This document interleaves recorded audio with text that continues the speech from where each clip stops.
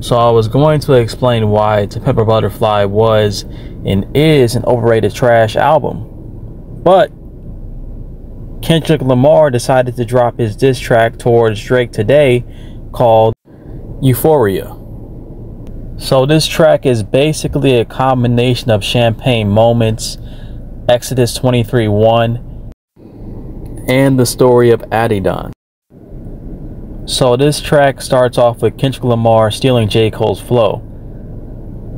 Listen to the track To Summer from Cole and you'll understand what I mean.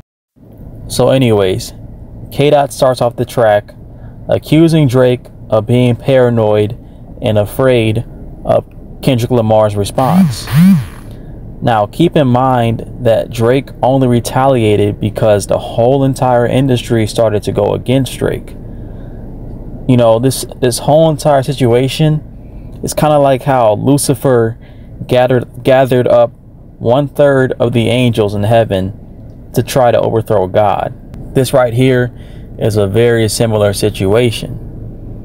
And Kanye literally said in a recent interview that the whole entire industry is trying to exile Drake. Furthermore, K. Dot denies the Whitney Alford cheating allegations. Basically, his fiance. He basically there's allegations going around that uh, his fiance was cheating with bodyguards of his, and he's basically saying that Drake is capping about that.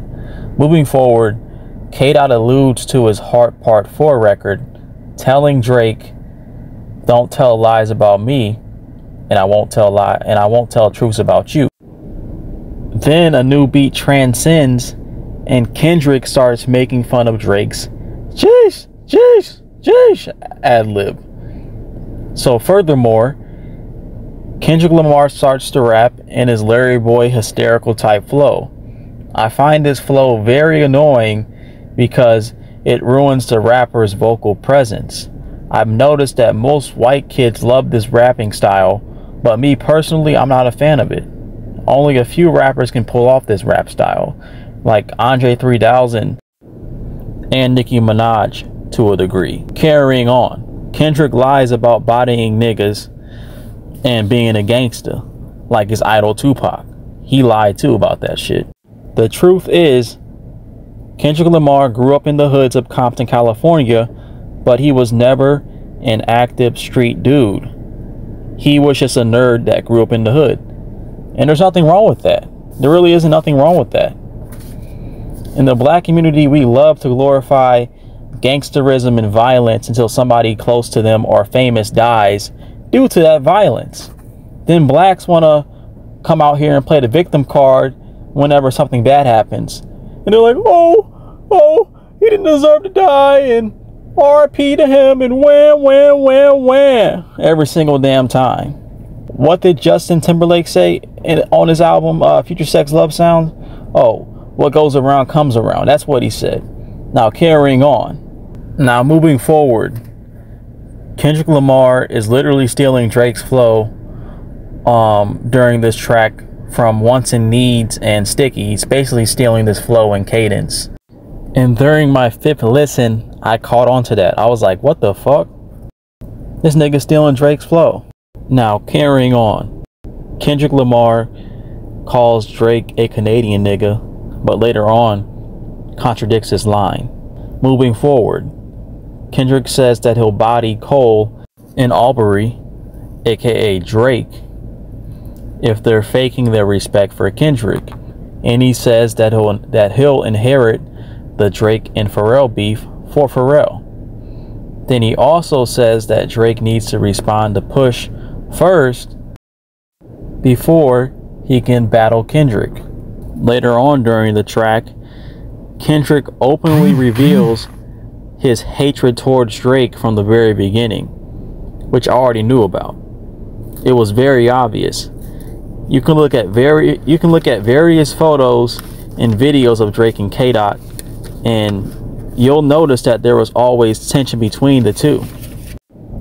Even listen to Buried Alive by Kendrick Lamar, one of Kendrick's best songs. And he basically said that he was jealous of Drake's status in the rap game. during that time and now currently he's still jealous of that status that Drake has. He wants that Drake status. So the red flags were always there. Now moving forward, K Dot also reveals that he hates how Drake sneak disses other rappers. So for number one, Drake comes from the school of Jay-Z, so that's where he gets it from. And number two, Kendrick Lamar, you're literally guilty of this too. Because you've literally dissed other rappers in your songs too. You've sneaked. So basically, Kendrick Lamar is a walking contradiction.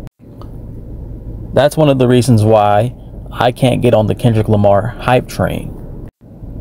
Because of shit like this. Moving forward, Kendrick Lamar shits on Drake for sleeping with bad bitches. Now, if I had to choose between bad bitches or a woman that can potentially leave me and take all my assets in this country and, and in Western culture because she's unhappy, I'm picking the bad hoes all day, every day. Because if women are not going to offer me what I want, which is basically a woman that's a, a ride or die and stable and is not going to divorce me, then I might as well just slay the pussy and go about my life. That's just me personally.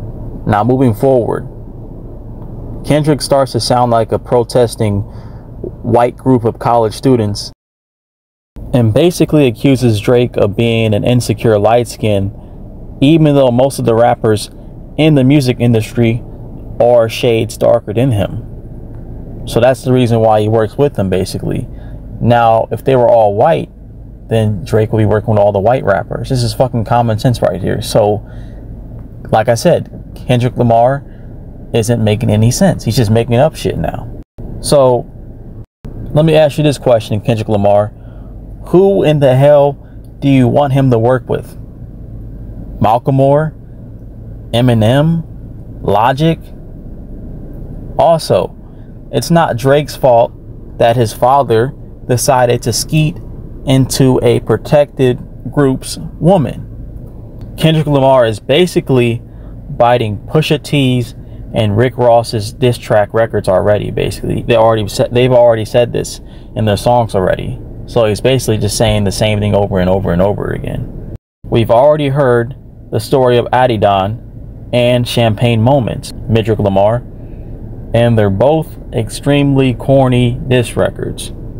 Now carrying on. K Dot says that he likes singing Drake better than rapping Drake. And then Kendrick says that he's going to get P. Diddy to smack Drake again. And this is where Kendrick fucked up because Drake can use this against him actually. Let me tell you why. Let me explain why. Uncoincidentally, a year before that Drake and P. Diddy situation happened, P. Diddy was actually pressing and punking around K. Dot at the 2013 VMAs party because Kendrick claimed to be the king of New York at that time, and J. Cole had to stand up for Kendrick Lamar and fight Diddy for K. Dot's Stewie Griffin midget ass. Now, Drake could actually use this against him in a future diss track and go into more detail about that situation that went down in 2013. Now, carrying on, Kendrick Lamar brings up Drake's fake abs and his friendship with Yachty. Again, Kendrick Lamar is literally stealing from Rick Ross's champagne moments. Moving forward, K. Dot says that he hates how Drake says nigga in his rap songs. Well, Kendrick, you just contradicted yourself. Because earlier, you dumbass, you just called Drake a Canadian nigga a verse ago, fucking dumbass nigga. Moving forward, let me ask you this question, Kendrick. How are you going to try to gatekeep another black rapper for saying nigga? And I see this in real life too. A lot of dark skinned folks hate on light skinned folks, and they try to shame a light skinned person for saying nigga. Now, it would be different if Drake if Drake was like you know, Justin Timberlake or Eminem or someone that was white and they were saying nigga. But Drake is Steph Curry black. Drake is Jamal Murray black. Drake is Jordan Love black. Drake is Mahomes black. Freaking Drake is Klay Thompson black. It amazes me how black people get riled up over the word nigga, but whenever it comes to black deadbeats, single mom culture, and little two year olds getting gunned down or getting hit by stray bullets, the majority the majority of niggas just say nothing about it. Or whenever it comes to black on black crime, no one says nothing and says nothing. No one says nothing or does nothing about it. And before and, and just saying something about it isn't, you know, isn't really doing anything basically. Doing something about it, actually taking action is actually doing something about it. And it's gonna create change. But talking about it ain't gonna do shit. If you're not gonna fucking put up points. And before integration happened, the reason why light skinned blacks came into existence was because the dark skinned black men chose to not protect their queens from getting taken advantage of by who? The slave masters. They just stood around like a bunch of cucks, and I don't want to hear, well, the white men had advanced weapons and all this other stuff, and they are more superior and everything like that. No excuses.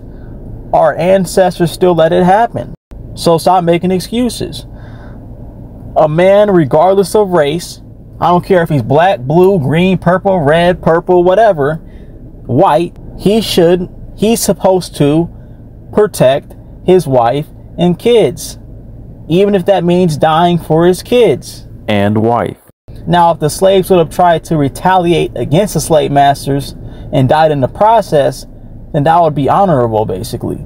But that obviously wasn't the case. Also, most of the great revered black activists like Rosa Parks, MLK, um, Malcolm X, to name a few, were all light skins. Isn't that ironic, huh? Isn't that ironic?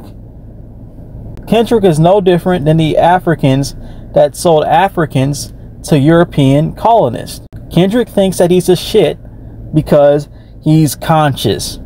Shit. Shit any fucking nigga on the fucking planet can be conscious. Anybody can be fucking conscious. R- shit, right now I'm conscious. That doesn't mean I'm the shit. Also, another analogy Kendrick's ego is no different than the bad bitch that gets validation from all the guys in her DMs. Now, moving forward, Kendrick calls Drake gay and steals Pusha T's bars from Exodus 23 1 where Push is basically exposing Young Money, Young Money and Cash Money's, you know, financial situations, you know, conflicts that happened back then in the early to mid 2010s with Wayne and and uh, Stunna and Drake and Nicki and shit. You you uh Kendrick cocksuckers and Cole cocksuckers like to basically create double standards for certain rappers. When Drake uses a bar or two from someone else, you call him a you call him a uh, culture vulture or a biter and stuff like that. But whenever but whenever uh, Cole and Kendrick do it, you guys suck the soul out of their dicks, bro. That's how you guys are. You guys suck the soul out of their dicks. Now moving on. K. Dot accuses Drake of using ghostwriters for his lyrical records. Whenever Drake already addressed this, he said he doesn't use ghostwriters for his lyrical records. He gets he says that he's actually the first one that comes up with the concepts with the with the artist that he's going to collaborate with. Basically, that's what he said on record. You can actually watch the Rap Radar interview, and also for his like biggest hits, he may have co-writers, which is different. He may have producers help him out with songs, or you know, co-writers help him out with songs, which there is nothing wrong with having people help you out with songs, basically with collaborative writing. There's nothing wrong with that shit because that can actually make or break a rapper. You know, what someone else is what what somebody else says can actually change, you know, your trajectory of your rap career. You know, you can have this stuck up ego and shit and try to be you try to do it all, all on your own and shit and then your music is just straight up ass basically like like the majority of Kendrick Lamar's songs. Oh, I write. I write I write by myself Whoop whoop de woo. You want a you want a piece of candy or something? Whoop de woo. Like, come on now, nigga. And also, Kendrick is actually dealing with a couple of uh, ghostwriting allegations himself. Because if you guys didn't notice, J. Cole actually wrote HiiiPower for him. And also, somebody else wrote N95 for him. There's a, there's an actual reference track that was leaked with uh, the same lyrics and everything, basically. So Kendrick basically stole those lyrics, and I'm I'm pretty sure that he uh, steals you know flows and styles, and um, Keem writes for Kendrick at times, basically behind the scenes. So this whole entire Ghostwriter thing is just blown out of proportion. So finally, K. Dot calls Drake a deadbeat, but Pusha already said this in the story of Adidon. And also Kendrick says that he will shoot and kill Drake. You know, isn't that funny? Because you're the same nigga that said on the track that isn't that funny because on the track I on To Pimp a Butterfly, the live version of the song, Kendrick actually breaks up a fight at his concert and speaks out against black on black crime. And on this track, he's doing the opposite. He's actually he's actually promoting black on black crime and violence in general between black folks. What a walking contradiction, which I can't respect him because his messages and his songs don't don't hold any weight. It would be better if he was just a regular pop artist. Now moving forward. So overall, I was very disappointed with this diss track. The Heart Part for like that, Pay for It, were way better diss tracks, even though two of those songs are basically sneak disses towards Drake on those records. They were better. And the best line on this song is the Pusha T line. The voice the voice switch ups were whack as fuck.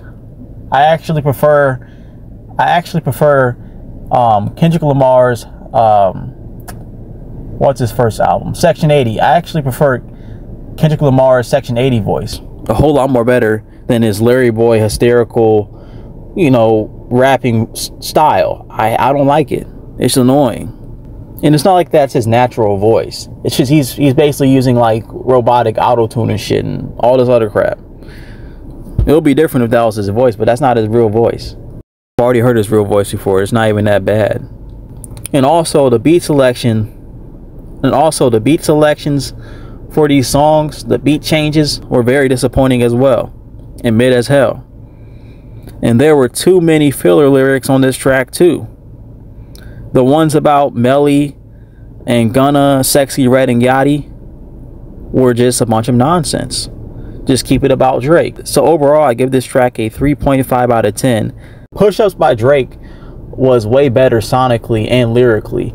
I give I give push-ups. I would say I give that. I'm gonna give push-ups a, a eight out of ten, basically. That's a whole lot more better. Actually, I can actually I can actually replay that song. But this song right here, I'm probably not gonna have this song in my rotation because it was just you know garbage. You know, not even mid. It was just bad, a bad song overall. And I know that I'm gonna piss a lot of you Kendrick cocksuckers off but I don't give a shit.